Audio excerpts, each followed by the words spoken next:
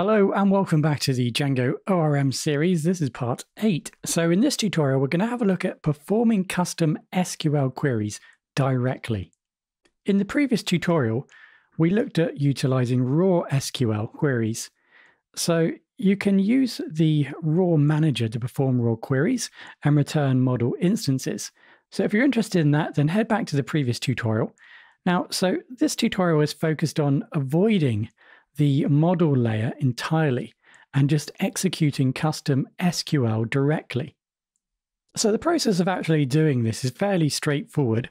What we first need to do is bring in the Django DB connection, and this essentially represents the default database connection. So we're going to need this connection to send our SQL queries to the database. So next up, if we want to use the database connection, we need to call the connection.cursor. This will allow us to use the cursor object. So now what we can do is go ahead and execute some SQL. So here would be our SQL, for example. Uh, so we utilize the cursor to execute our SQL.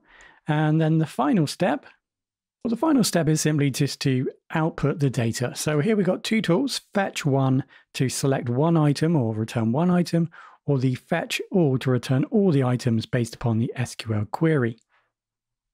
So let's head over to the code and see this in action. So I'll give you a some simple example or a simple example showing you how to perform this type of task. We are just using exactly the same table as we were before, a very simple data set here.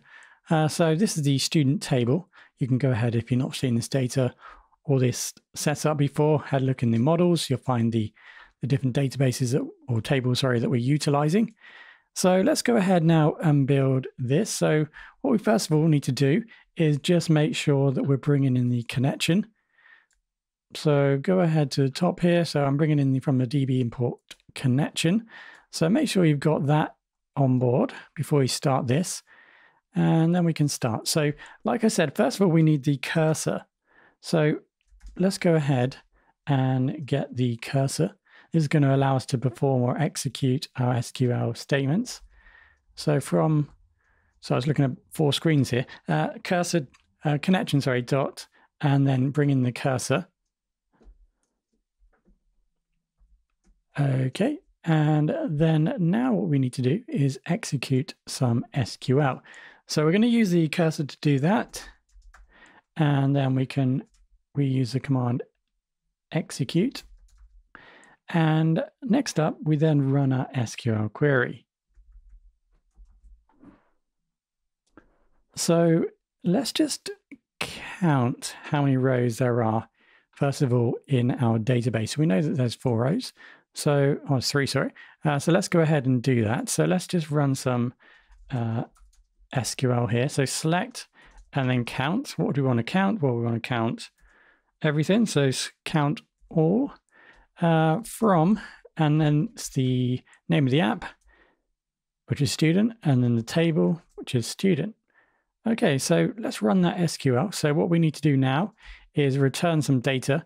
So uh, let's go ahead and do that. So r equals, and then cursor dot, and here we're going to utilize Going back to the presentation, like I said, there was two options here. We've got the fetch one or fetch all. So in this case, we're going to use fetch one because we've only should be returning one piece of data, which is the result of the calculation that's been made, how many rows we have available. So let's go back in. So we'll utilize that. So fetch one. And now what we can do is we'll just print this out. So let's just print this out. And uh, we want to print out R. Okay, and then we can also obviously render that to the to the template. So we've got a template here of output. So we can just render that out. So let's just render out as R. So we pass the data as R. And then we just go into the templates, just make sure that's set up. So actually fact data. So we're just going to output it there. So let's just comment this out. Okay, so let's have a look to see if this works. Let's go back into our browser. In actual fact, to get this to print out, let's just bring in the this here, this function. So it calls a function. So let's just bring in this function so that we can utilize it with our outputs. So we're going to call this and hopefully then that gets returned. So let's just go back and refresh and there we go. We have three items in the database. So that clearly is working. Now let's just go ahead. If you remember previously, we were utilizing the connection.queries, which was showing the SQL and the execution time, for example, the performance of our SQL. So let's just run this again. If you've come into this series a bit later and you're wondering, why am I refreshing? Why am using the shell? Of course, you can use the shell to run these commands. I just wanted to set this up this way. It makes it a little bit more visual. So you can see here, we've run the command and you can see the SQL here. It's exactly the same as what we've written. So select count from, sorry, select count all from student student table. And we've got the time, the performance execution time, which is obviously 000 because probably we're utilizing this on our local machine. And there isn't too much data in the database. So it's not taking too much time.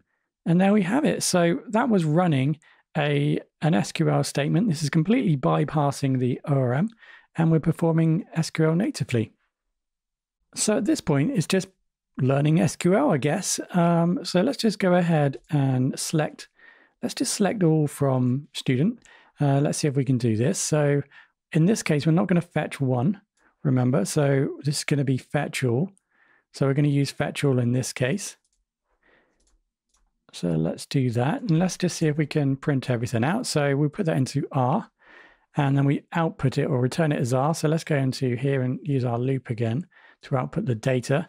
So it's returned as data. R into data, yep.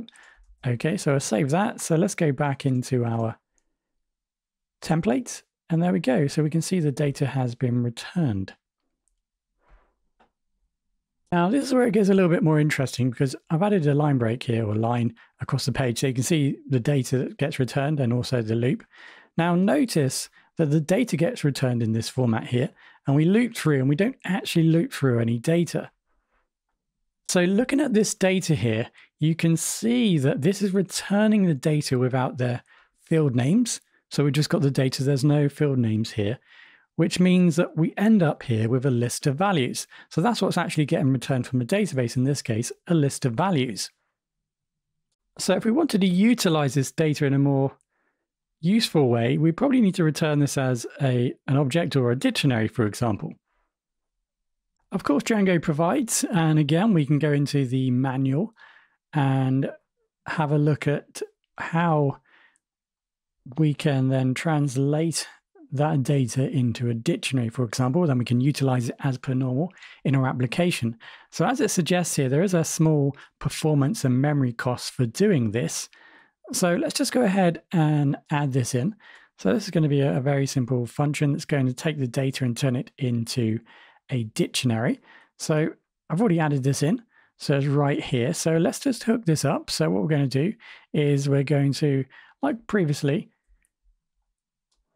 we uh, perform this all select all statement from the students table to output or return the three students are inside of this table. So let's go ahead now and actually then call this new function. So this function is called ditch, dic fetch all, dictionary fetch all. Um, you can see it takes in cursor. So let's go ahead and run this. And we're going to return that as R. So, and then you can see that we're going to then send that across to our template, the data that's returned in this new format. So we are returning data from a database.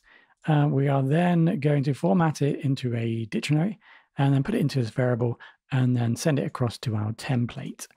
Okay, so when we output that out, uh, you can see we now have the loop working and it loops through all the data and returns it as per normal.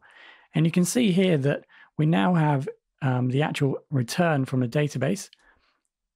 It's been formatted into a dictionary here. So you can see we've got IDs, first names, etc. for each item in the table. Okay, so there we go. That's a, a crude and simple way of working with SQL to completely bypass the ORM in Django. So if you weren't too sure, at this point, we can do away with all these. So starts with, is start with, ends with, and range and year and month, all these different functions we have in Django ORM, we can get away and do away with those.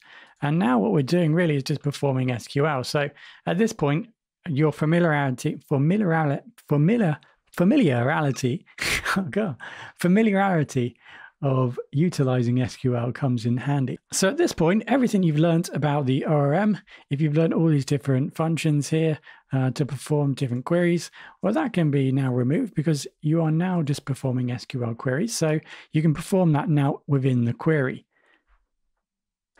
So let's just go ahead and extend this. So where, let's create a where, and then age is uh, more than 20. So let's just see what gets returned here. There we go. So there's only one student with the age, her age is over uh, 20, sorry. Um, so we can confirm that in our database. So there's just one student here. So that's why we ret return one data. So here now we can utilize our conditional statements here with inside our query as per normal. So now you have the power to utilize your existing skills if you already know SQL to completely bypass the Django ORM and just continue using SQL. So there may be some performance that you need to check um, utilizing SQL, uh, like you've seen translating it into a, a, library, for example, here in this case. Of course, there's some more advanced features that we can discuss, but this is meant to be just a, a quick get started utilizing SQL and bypassing the ORM. So hopefully you appreciate that and you've learned something from this tutorial.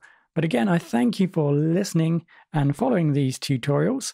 Um, we have now at a very basic level, I think covered how to perform custom SQL queries directly within Django.